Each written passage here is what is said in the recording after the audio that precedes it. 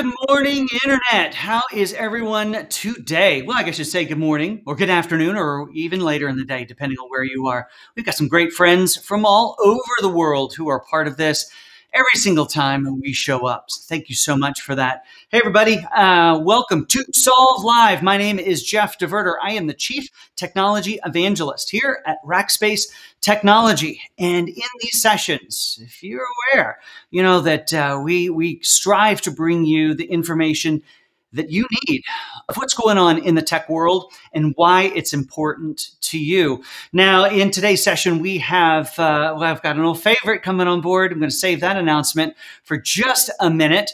But uh, I want to encourage you to introduce yourself in the comments, whether you're on LinkedIn, whether you're on Twitter, whether you're on the YouTube. Uh, go ahead comment down below. Tell me where you are and who you are and, uh, and what you do in technology. Now, whether you make your career in technology or not, you use it somehow. And I want to know how you're using it. I am actually going to tell you a little bitty secret here this morning for those of you who are paying attention here on this bright and happy Tuesday. You know these fancy graphics I use? Let's see if anybody can figure out uh, how I do it. Uh, because it's a whole lot easier than you might imagine. Now, there is some equipment behind the scenes to make it happen, but here's the trick it's a Microsoft product. I'm just using PowerPoint. PowerPoint and the power of green screen to make all of this happen, all of those lovely animations. Well, folks, uh, I told you I was going to have an old favorite back today. Now, not to say that Kent Kingery is old, but he is my old friend, uh, my friend of a long time. Let's put it that way. Uh, so Kent from Microsoft has come back. We have an incredible conversation geared up for you. You see, Kent and I, for longer than we care to admit, okay, we don't it's not that we don't care to admit it because we put it on our resume. Uh, that we uh, we spend a lot of time working and helping companies through the transformation with technology, regardless of what that transformation might be. And we have come up with four primary phases or zones or portions of cloud readiness, and uh, and we're going to share that with you today and what that transformation actually looks like over time. All right. So, with that, a reminder here's how we do, do these shows. We're going to spend some time talking about This Week in Cloud. It's all of the news that you need to know uh, that happened uh, this week in cloud and why it's important. Actually, it's not all of it, it's just two articles. But since we do this show twice a week, we got to save some for Thursday. So, we'll do that. Uh, after that, it's all about what's new in the cloud releases and why it's important to you. Then, Kent is coming up on stage. And then, look at that what's on your mind in that section. That's where I want to know what's on your mind. So, what questions might you have for Kent or myself that you uh, that's that's been bugging you as it relates to technology in some way or another, or maybe even how we pull off all this fancy tech to make these things happen outside of just PowerPoint. All right. So, with that, you already saw a little hint as to what's coming. But before we get into that, let me uh, let me say welcome to Mary. We're glad that you're here. Welcome to Hari. Glad that you're here. Satish is here. Aaron is here. Uh, guys, I'm so glad that you've taken the time to uh, to watch this. So uh, if you have any questions, pop them in to, down there below think about a little bit later on the what's on your mind. I want you to stick around to the end because it's a chance for you to uh, to get to share. Well, what the heck is on your mind? So with that, let's jump into what is going on. I am pushing all sorts of the wrong buttons. Hey, there's the right ones. Let's talk about some news and what's happening. Now, the first news comes out of Salesforce. And uh, and here's what's interesting about it. See, I've been talking. Hey, Manish, glad you're here. I've been talking a lot lately and sharing either in the news or down in the what's new from the cloud providers information about how the clouds are specializing, whether that is happening at the major hyperscaler clouds, bienvenidos, uh, Ramesh, uh, or whether that's happening from new startups who are coming out with very specific offerings for very specific areas. Now, in this case, it's uh, obviously it's all about Salesforce, and what Salesforce has done here is. Uh, they have come out with a new healthcare cloud, and it's all part of Dreamforce that's going on right now. And their intent in being the world's leader, as they might say, in CRM and keeping up after customers and contact information almost sounds like contact tracing, doesn't it? Well, and kind of it is because starting here and announced at Dreamforce is a whole app for managing healthcare and not just managing, you know, not necessarily from a, hey, I'm going to my doctor point of view, but more from helping companies or, or cities or whatever else, you know, keep track of who's been, in this case, vaccinated, uh, hey, New Braunfels, so uh, you're at the uh, New Braunfels Smokehouse. Wow, that's impressive, Arturo. Um, sorry, really distracted. For those of you not from Texas, New Braunfels Smokehouse is awesome. Look it up online. You'll be very impressed. Order something from them.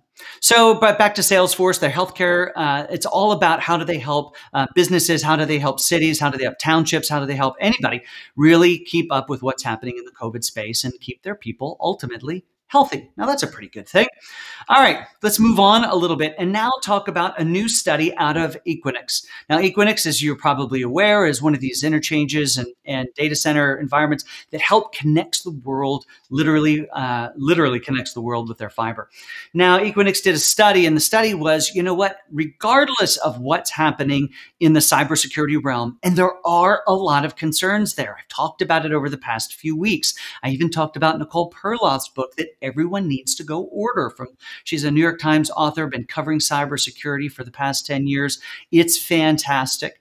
Uh, but in, in this case, even though cybersecurity threats continue to rise, what this, this study actually found was the fact that uh, the cloud migrations continue to move in force. In fact, as I look at the information, they grew from 15% of businesses saying they were doing it the previous year to this year, now 37% involved in some sort of cloud migration. Now, Kent Kingery, you can tuck that in your pocket and save it for our conversation as we talk about in a minute all the different types of migrations that can occur.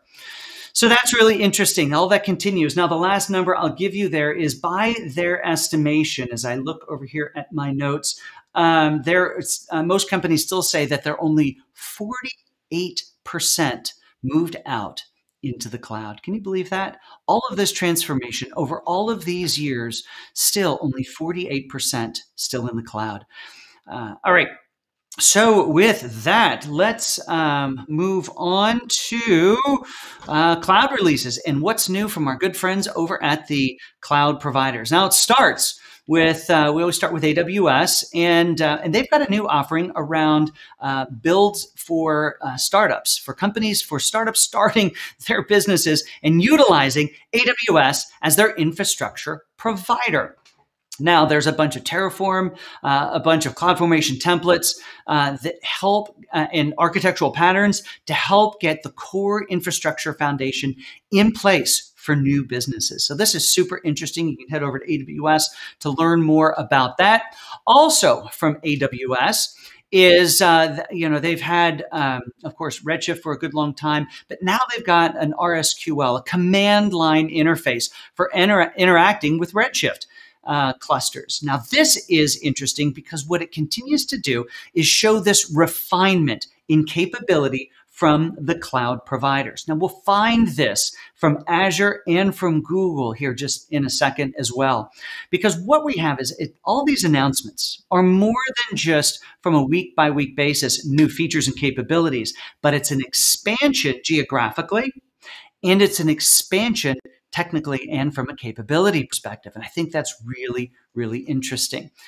Now, as we move over into uh, into Azure in public preview, we've got group management scopes for uh, Azure reservations. Now, what they're focused on here over at Microsoft is helping you do a couple of things. First one, save money. That's what reservations are all about. Now, we're talking about reservations. We're talking about either some really expensive storage or we're talking about virtual machines. Now, virtual machines, as Kent will tell us in a second, still have a place in our world of cloud native, um, very specific use cases. And, uh, and when you need a big honking VM or your application is one that doesn't necessarily necessitate an upgrade, uh, and something you just kind of want to ride out and leave it in VMs, well, you can reserve those VMs and say, hey, look, we're, we're buying these on the year and you'll get a much better price on it. But now you can actually have them created and put directly into management groups uh, as well to help pick up all the policies and the things that a management group is going to give you. Now, also from uh, from Azure is the general availability. Now, as I was looking at the news from Azure this week, what I realized is most of the news was, and I've only listed one of them here, is capabilities that already existed, but now in new regions. And just like all the cloud providers, Azure, when they launch a new service, they will put it in a very specific location. Uh, a couple of locations, they're key ones where they have center of gravity of customers, and then let it you know spread out to the rest of the data centers. So uh, archival storage is now available in three new regions. Uh, you can see them listed here in Europe and that's pretty uh, pretty awesome because now we have more capabilities. It allows you to move your workloads all over the world and have that capability.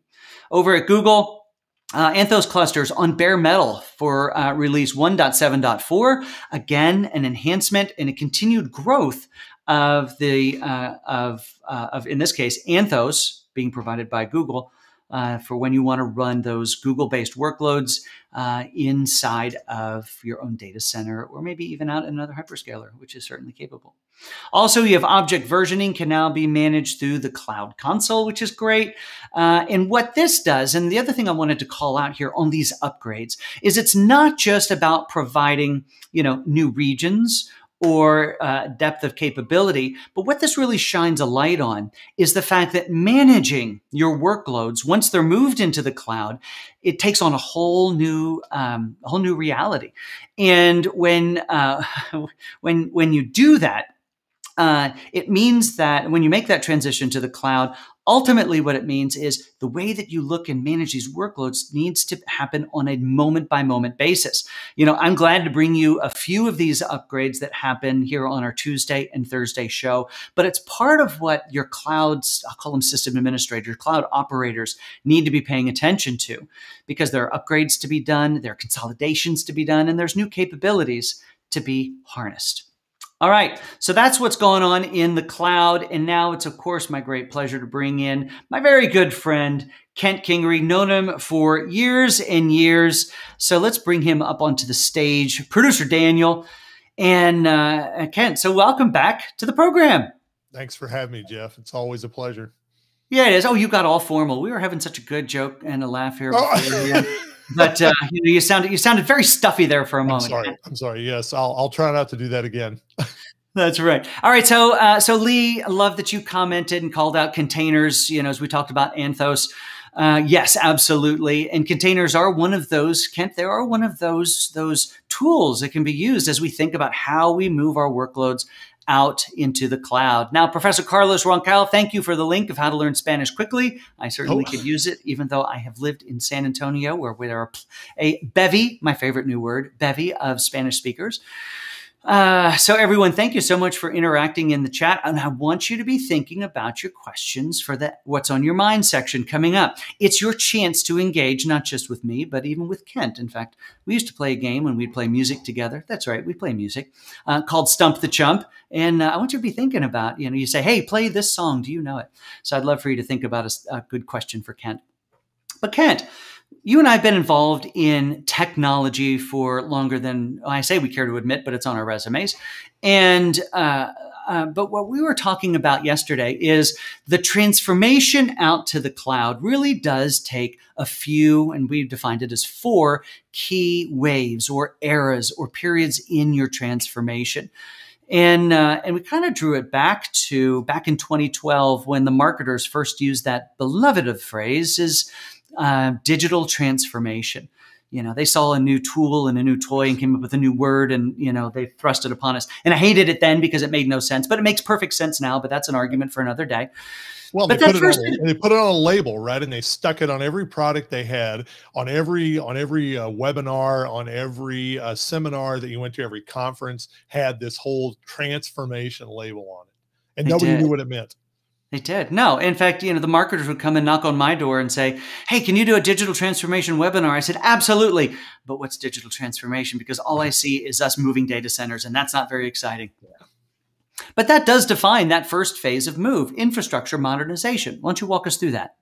Well, so so we we think of it, it, it, essentially as cloud hosted, and it is data center migration, right? It is the picking up of your essentially your entire data center, or even large portions of it, and moving it into some sort of cloud hosting environment, whether that is a hyperscaler like Azure or Google or AWS, or whether it's private cloud like a Rackspace data center, right? Because you and I spent quite a bit of time talking about that as well. But it but it is essentially a rehost um, it, it's a lift and shift. You get some great benefit from it. You get disaster you recovery. You get high availability. You get the ability to um, to to start to deal with um, uh, uh, uh, regular subscription licensing as opposed to perpetual licensing, um, and there's and there's a huge uh, a, a jump in security capabilities as well. But you are still doing the same thing you were doing over in your data center in somebody else's data center. That's right. And in some cases, you know, you pick up one or two as a services that make life a little easier. Like if you're moving to Azure, you might instead of moving an Active Directory server, you might migrate into Azure Active Directory or use some SQL, you know, uh, Azure SQL or you know some of the redshift we talked about from aws before. But it, but but that really does now start to talk about hey amesh glad that you're here. But that really does start to talk about what that phase two looks like. And that's when we start to pick apart these applications because that move to the cloud isn't just because you're in the cloud doesn't mean you're cloud d. So let's talk about that phase two and what that looks like so now we're thinking about cloud ready, right? The, right? the, ability for us to take advantage of, as you said, the the stronger features of the cloud, and we're starting to move toward that nirvana, that last phase. Um, we might have some DevOps in here.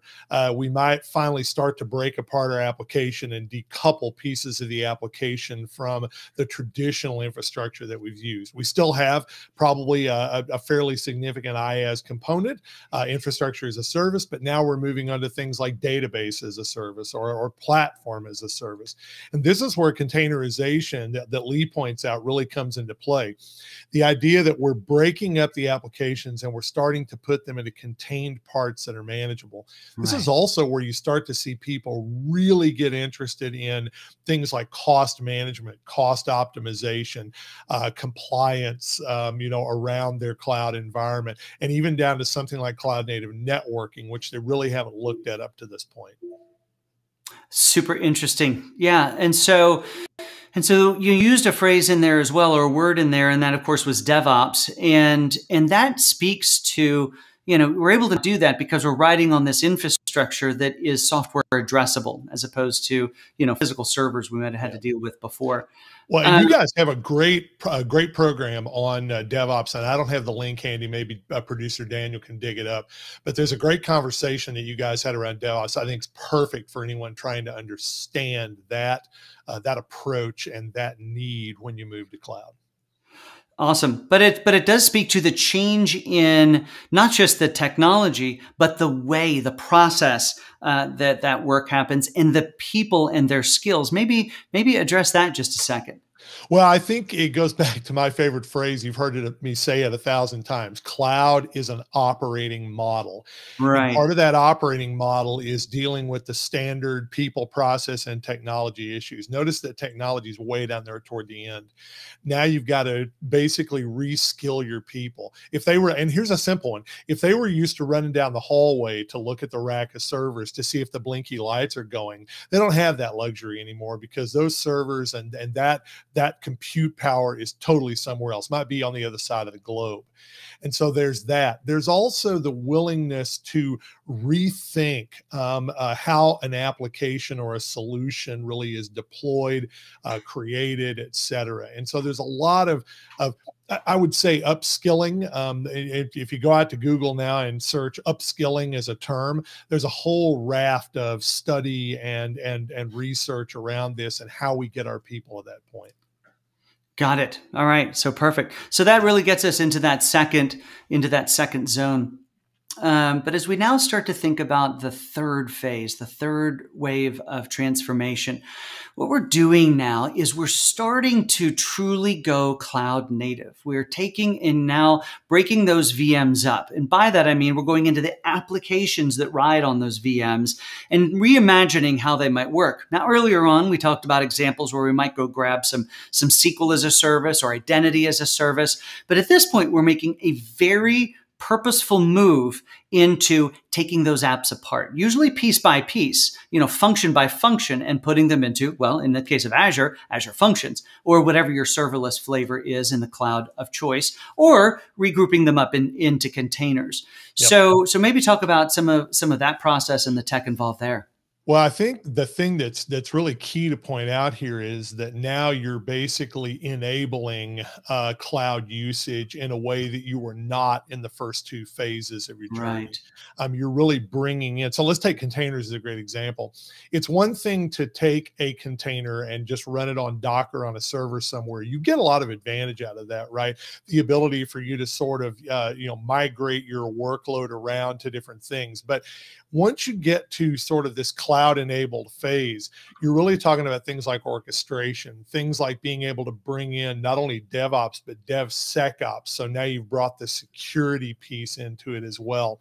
Uh, right. Uh, you're now into environments that really could be considered um, uh, somewhat self healing right and then there is the the really the thing that we're moving you know closer and closer and closer to it being a, a, a sort of a standard thing and that's ai ops the mm. ability for us to take these artificial intelligence engines and capabilities and apply that to our operations so that we're largely letting the computer do what the computer does compute does which is mundane sort of pedestrian you know sort of predictive tasks and it frees our human beings up to go do things that humans are really good at. So that's sort of typical of what this phase is. Yeah, now you're really getting us into that fourth phase. And and the lines really do blur in that oh, case. Oh, yeah. And that's where you're taking and you've not just broken your application up. You're not just utilizing a transactional based capabilities beyond your reservation based um, capabilities. Now what you're doing is we've we've we've moved it into the transactional mode, but now we're starting to consume all the other things that are there. I was using everyone. I was using the example earlier. Uh, I, I really like coffee, and I live by the uh, by the the method or the the mantra that anything worth doing is worth overdoing. So because I love coffee, it means I also roast my own coffee.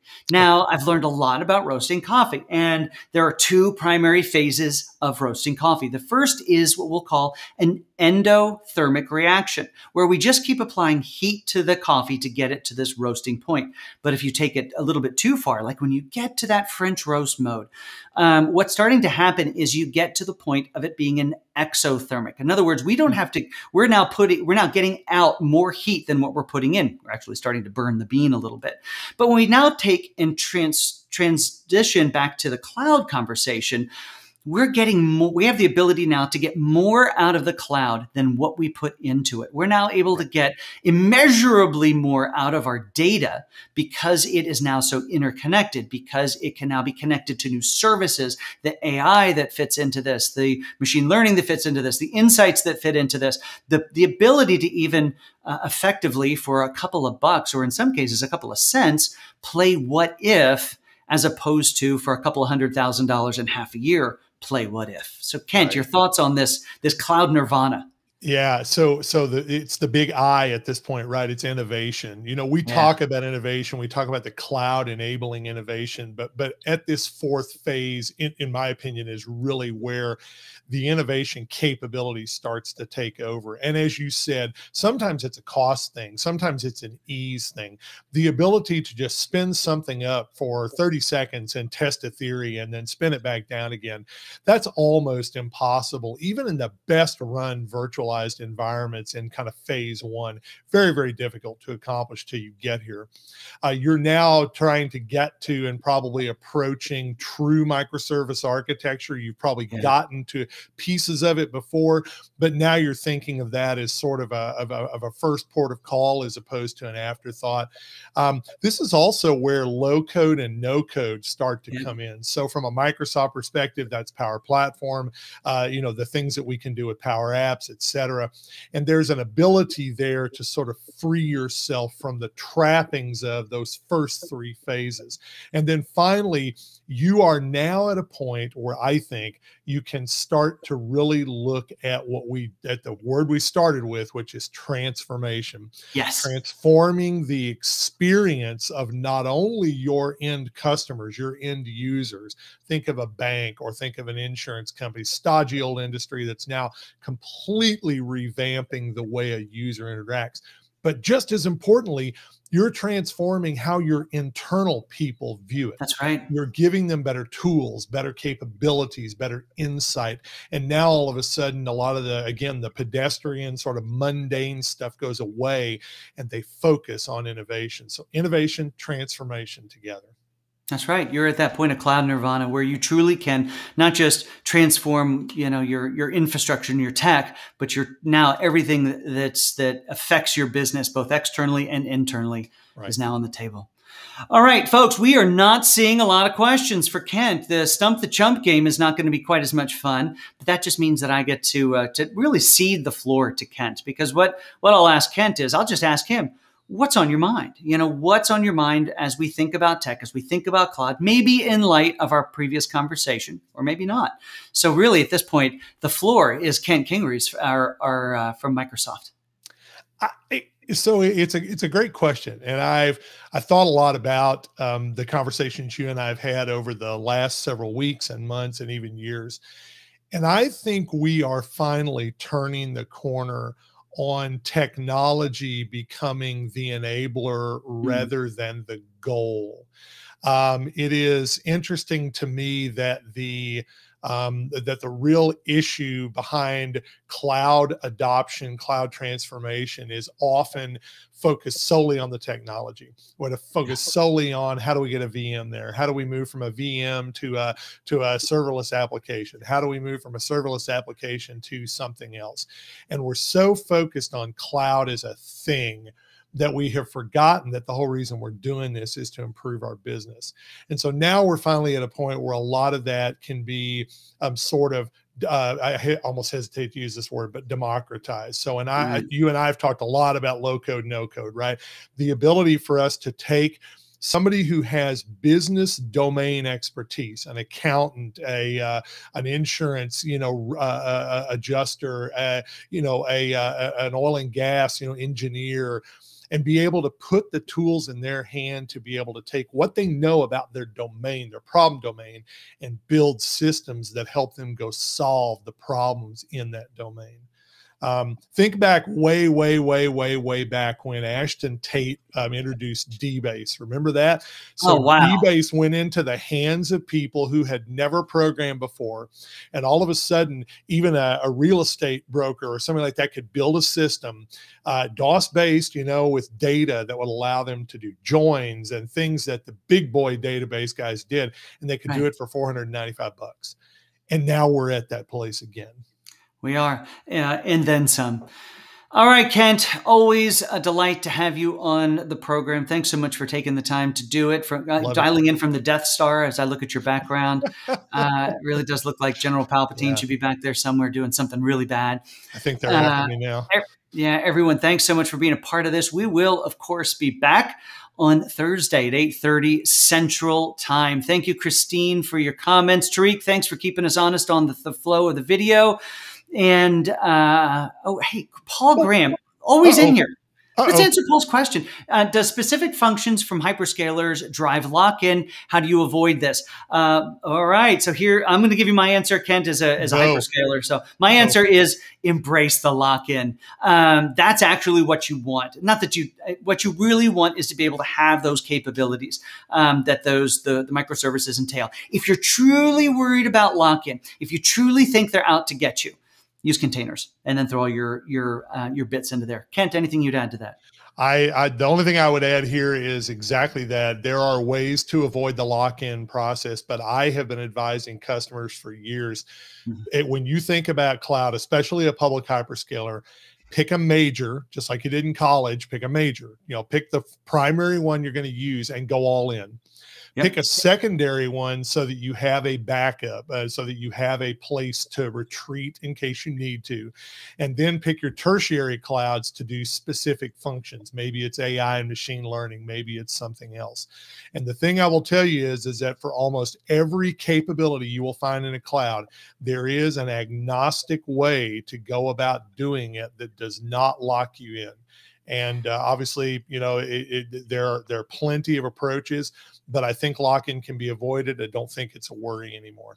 Yep. Okay. Excellent advice. And that's another topic we could spend a whole oh lot of time gosh, on. yes. everyone thanks so much. My name is jeff deverter. I'm the chief technology evangelist here at rackspace technology. We bring these live sessions to you every tuesday and thursday uh, at 8.30 central time. Thanks so much for being a part of this today. We've got a great program scheduled for uh, for you on Thursday. Watch the Rackspace feed coming up uh, tomorrow for more information about the guest. So, Umesh, Paul, everyone, thanks for the great feedback. Yeah. I hope this has been helpful. By the way, these are always available. If you can't make the 8:30, uh, can't get your questions in, you can watch them anytime throughout the day. We're reposting clips all the time anyway. So, Kent, as always, thank you so much. Everyone, have a great day. Go make a difference in whatever it is that you do at your business. See you.